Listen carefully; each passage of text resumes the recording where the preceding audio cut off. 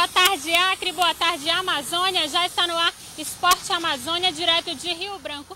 O cenário escolhido para o programa de hoje é a rua Desmar Pimel, no bairro Coab do Bosque. Como vocês podem ver, a preparação aqui continua intensa para o concurso Minha Rua é Louca pelo Brasil. Muita gente se preparando para esse grande momento de se unir em uma só voz e torcer pelo nosso país durante a Copa do Mundo 2014. Essa rua aqui está super animada, os moradores continuam unidos para tentar levar a melhor animação, a melhor, é, os melhores cenários também para a nossa Copa. Já tem Fred, Neymar, Daniel Alves, muitos jogadores aqui já grafitados por essa rua, assim como tantas outras da nossa cidade de Rio Branco. O sorteio das primeiras 10 ruas que vão participar do concurso deve sair ainda nesta terça-feira. Mas vamos dar continuidade ao programa de hoje, porque no último sábado foi dado início o, o Copão Municipal de Rio Branco. 107 times de toda a cidade de Rio Branco vão participar da competição ver a movimentação no estádio Arena da Floresta no último sábado. Mais de 2 mil peladeiros se reuniram para participar da abertura do Campeonato Municipal de Futebol de Rio Branco, o Copão Comunitário 2014. Essa é a segunda edição do evento. 4 horas da tarde, em pleno sábado, os jogadores estão aqui super concentrados e todos ansiosos para pisar na grama do estádio Arena da Floresta. Ansiedade definia os jogadores. Todos querem ganhar a Copa, mas muito mais do que isso, a inclusão da comunidade em atividades esportivas foi o que incentivou a todos. Um momento muito aguardado por quem faz da bola um passatempo com poder de mudança. Isso incentiva muito né, o pessoal. Brincar um futebol no final de semana, distrair um pouco, né? Em vez de tomar cachaça, vai pro futebol, bater uma bolinha e tal, depois vai pra casa, cansado e ficar em casa com a família. Ah, com certeza, né? É sempre bom a gente fazer esse esporte, né? praticar algum esporte, né? Principalmente quando o governo ajuda, né? É, muitos jovens que estão aí brincando de bola nos seus bairros, aí tem a chance de pegar e chamar um amigo, aquele outro amigo que, que joga em outro bairro, e poder jogar num campo tão bom como esse. Aí é sempre bom. Né? E o governo tem ajudado muito na questão do esporte para poder incentivar a gente a praticar esporte, a sair do mundo das drogas, do mundo da violência, né? Isso tem ajudado muito a gente, né? As mulheres eram um capítulo à parte. Cada um dos 107 times que representam os bairros da capital acriana foi muito bem representado pela sua musa inspiradora. Além de prêmios para o time vencedor, o campeonato vai premiar a melhor torcida e ainda vai escolher a musa do copão. Que responsabilidade, hein? Tá nervosa? Tô. A gente fica um pouco mais com todo o coração, a gente entra em campo para defender um time a qual eu moro há 18 anos e defender como posso. Bem, eu estou muito feliz, né? Espero representar bem. Né? Tem muitas meninas bonitas, mas eu espero que não só ganhe a musa, como o nosso time também. Nosso time está muito forte, espero que eles ganhem. E eu também. Às 5 horas da tarde, os times começaram a apresentação. Um a um, os jogadores foram enchendo o campo e se a expectativa já era grande, antes de entrarem no campo, imaginem como estavam os corações para saber quem iria disputar a primeira partida de abertura da competição. Obviamente os bairros que estão participando, que são nossas comunidades, estão sendo prestigiada, valorizada em participar desse grande evento e abrilhantando o nosso segundo Copão Comunitário. Trazer as pessoas que de fato estão na ponta, que são os anônimos que fazem esporte lazer do seu jeito, com seu carinho, com a sua emoção. Não deu outra. Nova Esperança e Vila Acre ficaram com essa responsabilidade. Às 19 horas foi dado o pontapé inicial. Mas esse foi só o começo. Serão realizados 30 jogos a cada domingo até o fim do campeonato. As partidas deverão acontecer nos campos da periferia da cidade. Agora, apenas a final vai acontecer de novo no Arena da Floresta. Mas até lá, muita bola ainda vai rolar.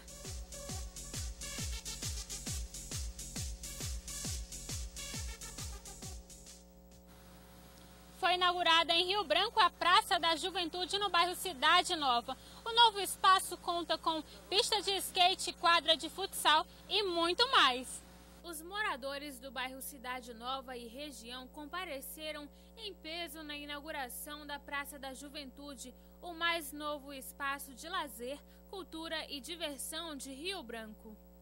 A praça é também Centro de Artes e Esportes Unificado, um projeto do Ministério da Cultura que integra num mesmo espaço programas e ações culturais, práticas esportivas e de lazer, além de formação e qualificação da juventude para o mercado de trabalho.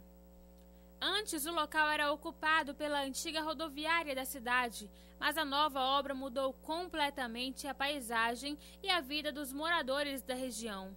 A mudança foi aprovada pela comunidade. Rapaz, é legal, né? Muito As crianças, legal. Bom, minha filha, com uma coisa dessa, né? Novidade, né? Tá, tá muito bonito.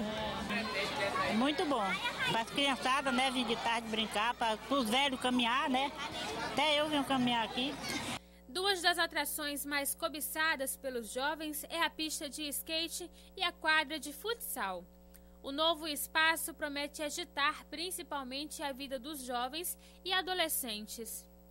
Ter um, um novo centro de, da praça, como eu tinha antiga ali, e ficou bacana.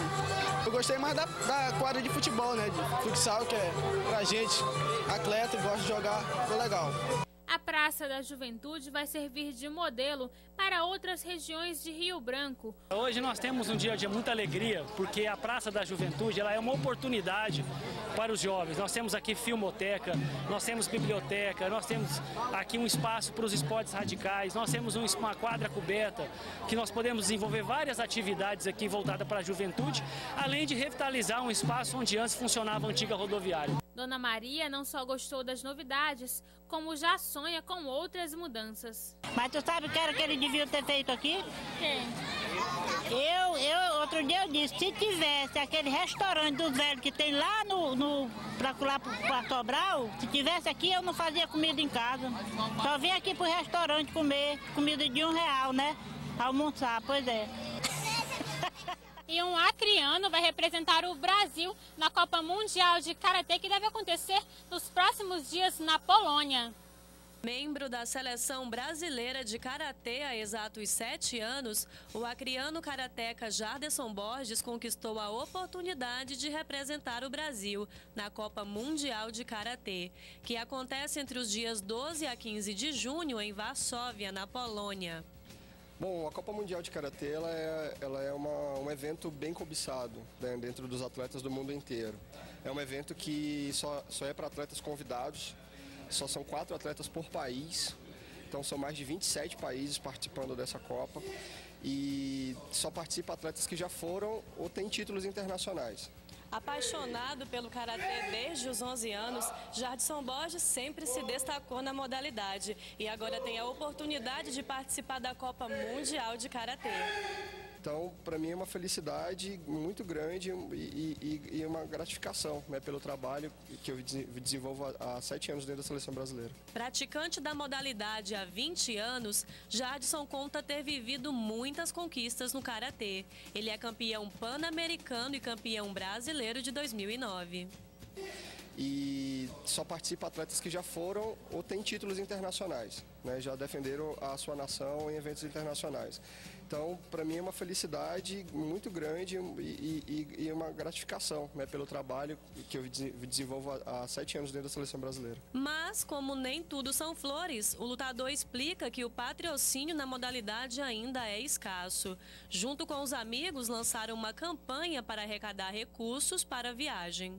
Bom, o que a gente tem é incentivo dos amigos, alguns amigos bem próximos que são empresários, amigos pessoais mesmo, que fazem uma, uma vaquinha, que fazem uma arrecadação, e além do meu trabalho pessoal também de, de, de buscar. Mas ah, é muito difícil, não só no Acre, mas no Brasil inteiro. Todos os atletas, independente de modalidade, sofrem com a falta de patrocínio. A prática do esporte melhora o condicionamento físico do atleta e a disciplina. Jardson explica as vantagens da modalidade. Tudo que eu sou hoje, como pessoa, como formação do caráter é, e, e como, como caminho da razão né, da minha vida, eu devo ao Karatê.